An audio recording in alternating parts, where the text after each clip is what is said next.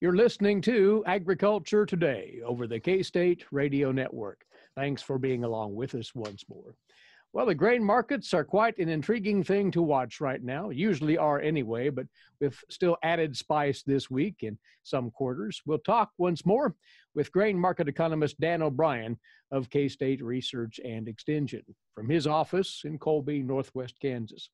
Dan, to start with this, following last week's bullishness in the corn and bean markets, there's been something of a pause in those rallies this week. Is this just a matter of the market? stopping for a moment and taking stock of where things are?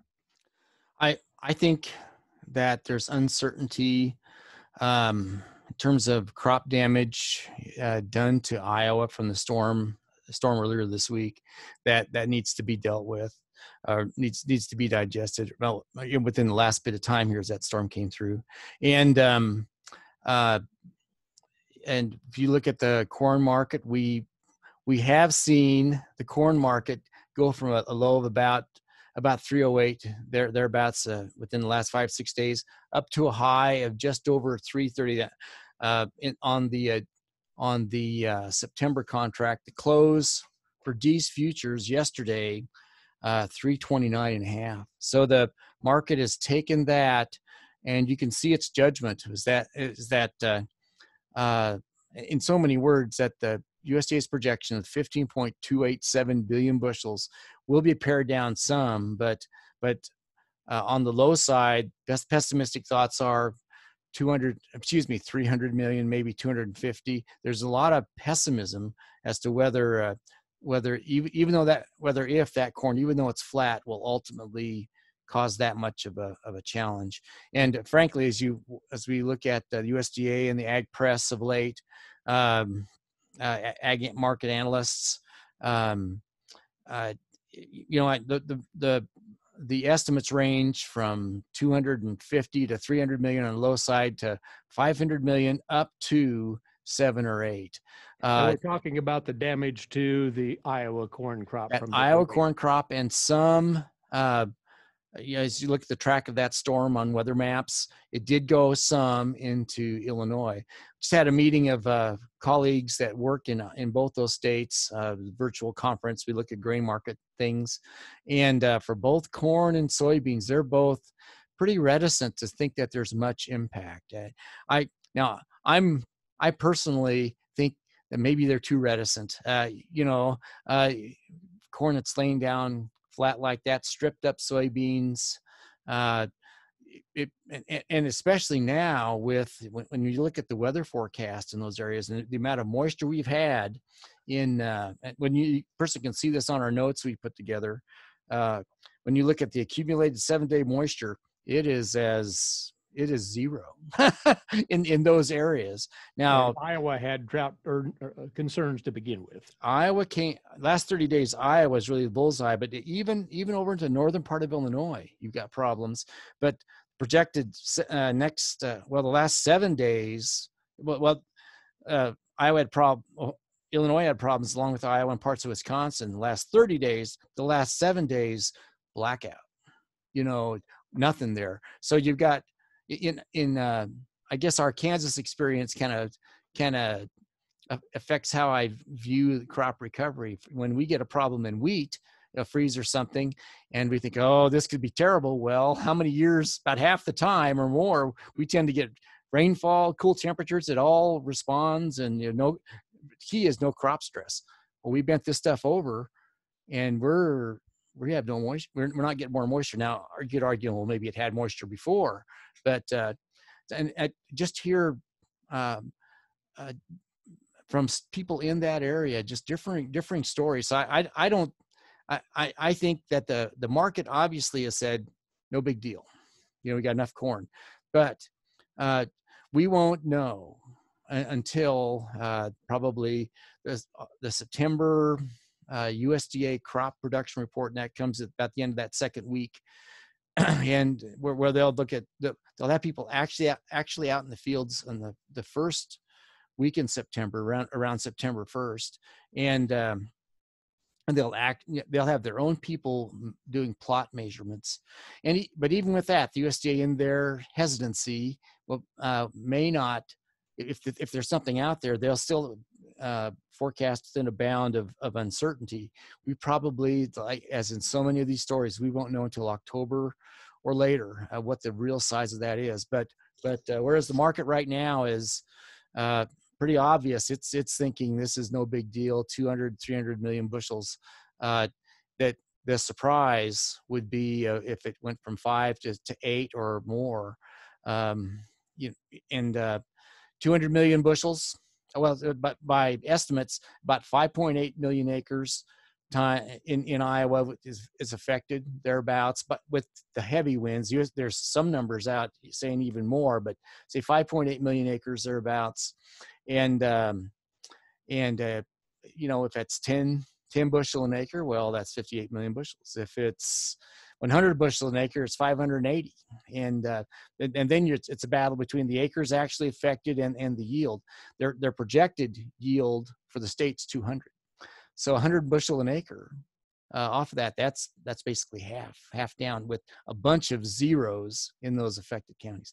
So uh, obviously, I'm all fired up about this, uh, but I but but but the overall market has said uh, no moss, not going to worry about it, not not a big deal. Well, we'll we'll see if that's if that ends up being a reasonable assumption or not. Let's accentuate the positive, if we might, for a second here. As far as price action, here in Kansas, you look at the basis for corn doing very well, and for grain sorghum, absolutely on a hot streak here in this state. Um, for grain grain sorghum bids, uh, basis bids, uh, again based off these same futures, uh, uh, unbelievable. For, for instance, in Salina, uh, we have a, a positive basis uh, off our this is off our ag manager basis tool. A person can go look at different locations around the state. Basis in Salina about 70 cents over. And the, the next highest we'd had at any any years back to and including 2016, grain sorghum was was 40 cents under. So amazing, you know, amazing differential, and that's and that's par, really par for the course. And what gets your attention for those grain sorghum basis bids is their strong uptrend in well in Colby, uh, Colby location we looked at, Garden City, uh, Salina, uh, still upwards, uh, not quite as dramatic in Hutchinson, Topeka, shooting upwards pretty strong. Uh, even Ben Strong staying there in Columbus. So, so grain sorghum strong basis bids, signs that elevators anticipating export business going to continue.